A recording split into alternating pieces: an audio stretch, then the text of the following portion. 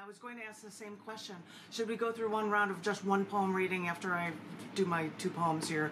And if we run late, we run late. If we're, yeah, I'm getting yeses Yeah. for it. So Yippee Skippy, we've got a round of one after I read two poems from the Down in the Dirt, January to April 2022 issue collection book titled The Ice That Was.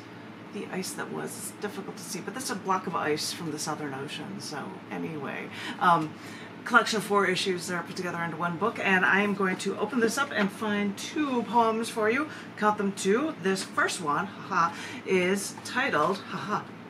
I got weird ones for you. This one's titled "Evil is Tricky." People have fought in wars, killed people, had to justify it in their minds. Women have been raped, then told it was the way they dressed to lure the lust. Then again, young women are sold for sex acts to insanely rich, middle aged men. People don't want to believe life is a delusion, but evil is a dog. You that you think that you can you, you'd recognize them you until well, because evil is tricky, evil just evil just hides in plain sight.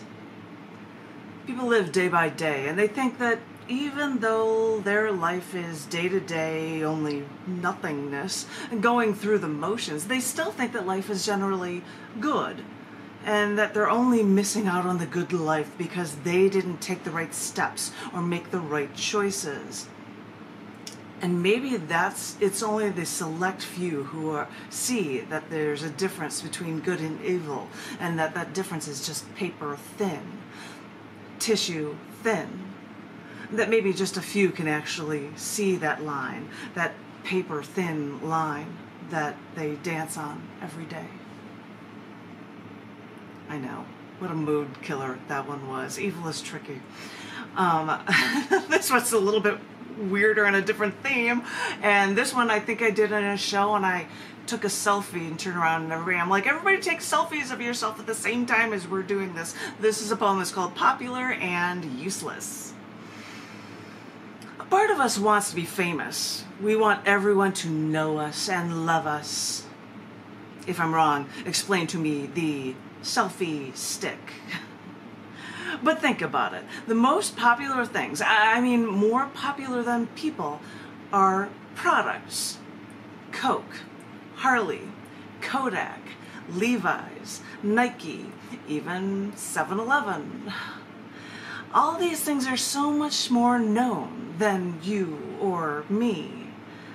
All these things are so popular, and they all have no substance. So maybe the selfie stick makes sense. If we all just want to be popular, if we all just want to be famous, maybe we've learned how to take our cues for being perfect by being generic and having no substance at all. So, let's go and start the show. Time to turn your camera toward yourself. Open your eyes wide, but don't smile too hard so you can be wrinkle free. And post that perfect picture on Facebook, Twitter, Instagram, Pinterest to show everyone how on the surface you're picture perfect. Don't bother looking for anything under the surface. Just inject botulism into your face so that you can't even show any expressions because nothing's too far for surface beauty.